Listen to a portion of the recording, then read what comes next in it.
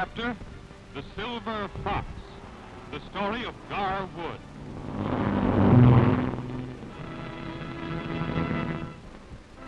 It's 1931. The Silver Fox of speedboat racing is 50 years old. At that age, most men yearn to take things easy, but not Gar Wood. We're going to make an attempt in a few minutes to uh, break the world record.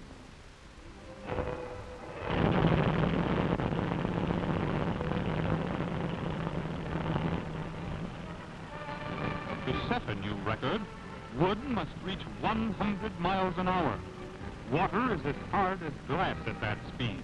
An accident could be fatal. Disregarding danger, Wood opens the throttle. He's known as the Silver Fox because of his racing skill. And Miss America Ninth is one of the fastest boats in the world.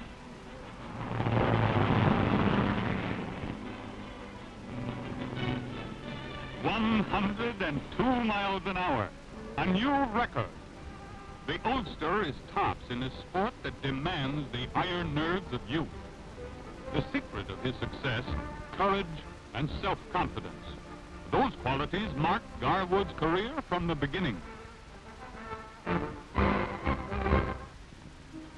Born into the horse and buggy age, Gar Wood was an automotive pioneer.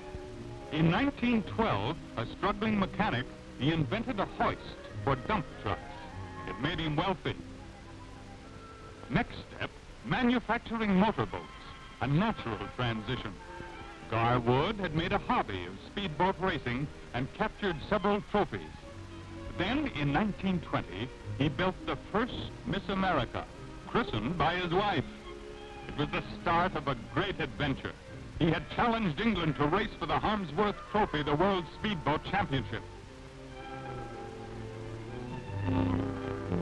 Osborne Bay, England, scene of the Harmsworth International Trophy Race of 1920. For Gar Wood and his mechanic, Orlin Johnson, it was the climax of months of preparation. But they were low rated by the experts.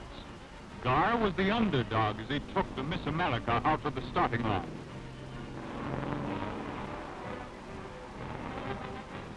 The race began with all the advantages held by Gar's opponents. They knew the course, and he had never raced on salt water. But he learned as he went along at 60 miles an hour.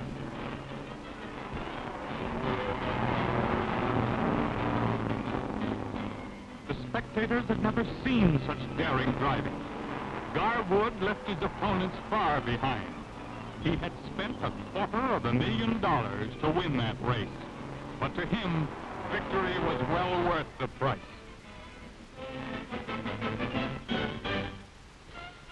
Back United States went the Silver Fox, bearing the precious Harmsworth trophy to its new home.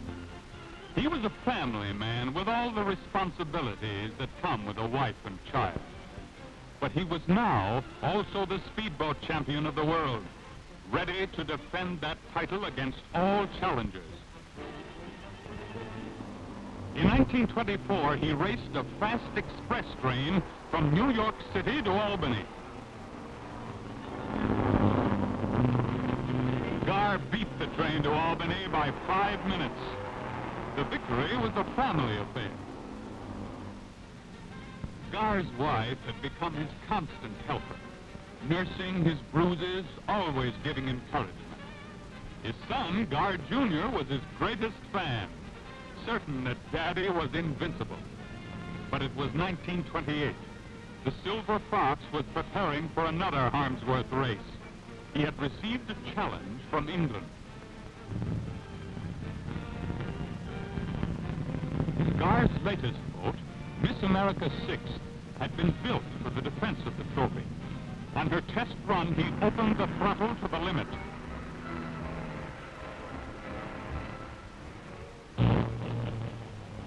Suddenly it happened. The thing Gar feared.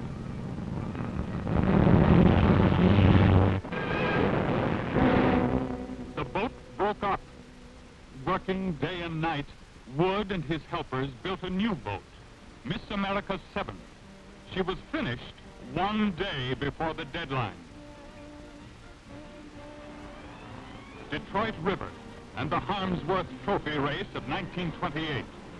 The English challenger, Miss Marion Carstairs, was confident of victory. Gar Wood's new boat was untested. At high speed, it might fall apart like its predecessor. But Gar wasn't worried. He trusted his good luck charms. I have here two teddy bears. Ted and Boone. I've carried those in every race the last 15 years, and they're very, very successful. Would those charms again bring luck to the Silver Fox? He'd find out in a few minutes.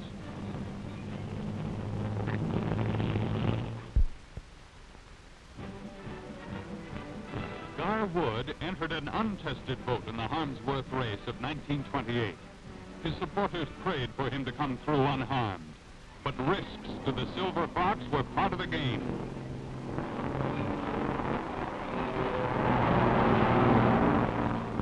Trusting to luck and skill, he raced the untested boat at top speed, ran away from the challenger, retained the World Speedboat Championship.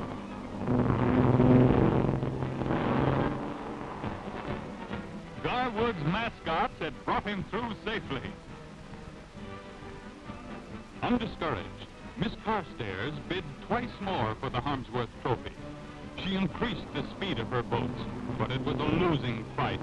Wood improved his Miss Americas and retained the trophy.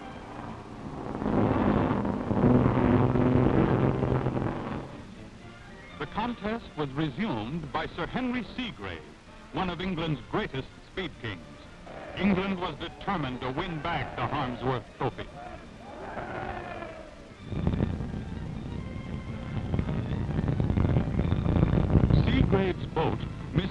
Second, was enormously powerful.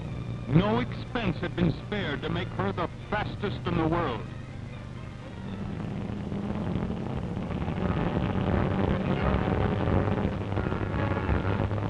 She made her test run on a Friday the 13th, a day of calamity. The boat exploded and sank. Segrave was killed. Don took Segrave's place in the Harmsworth Trophy struggle. It was 1932. Gar Wood faced his toughest opponent. He had redesigned his engines to produce 8,000 horsepower. But was that enough to beat Kaye Don, who had broken the world speed record?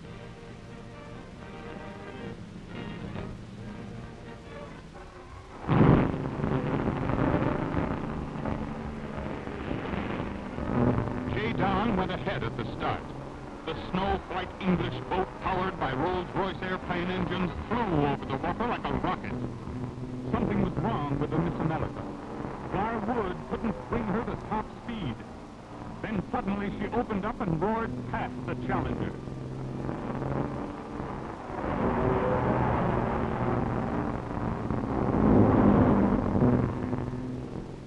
Victory! Gar Wood retained the championship, but it hadn't been easy. I uh, think that Kaye Don gave us the hardest race we ever had.